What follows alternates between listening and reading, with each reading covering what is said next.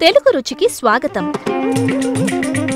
ఈరోజు మేము తెలుగు రుచి ద్వారా మీ పండుగ ఉత్సవాలను మరింత రుచికరంగా మార్చడానికి భారతదేశ ఆలయ వంటకాల యొక్క చాలా పవిత్రమైన వివిధ ప్రసాదాల వంటకాలను ఈ వీడియోస్ ద్వారా మీకు పరిచయం చేస్తున్నాం. రవ్వ కేసరి. దీనిని తరచుగా పండుగ సందర్భాలలో ప్రత్యేకంగా తయారు చేసుకుంటూ ఉంటారు.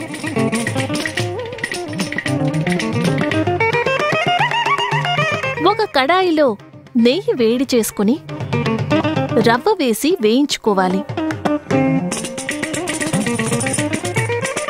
ఆ తర్వాత దీనిలో జీడిపప్పు కిస్మిస్ వేసి కలిపి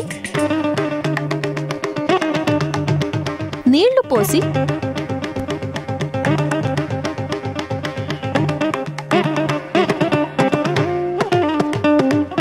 ఉడికించుకోవాలి.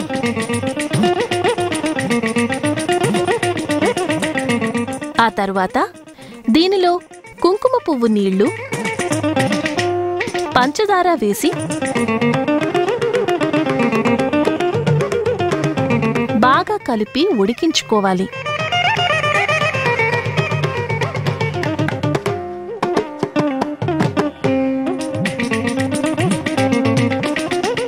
తరువాత ఇలాచీ పొడి వేసి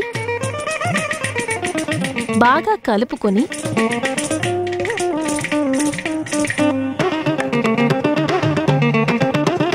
ఒక గిన్నెలోకి తీసుకుంటే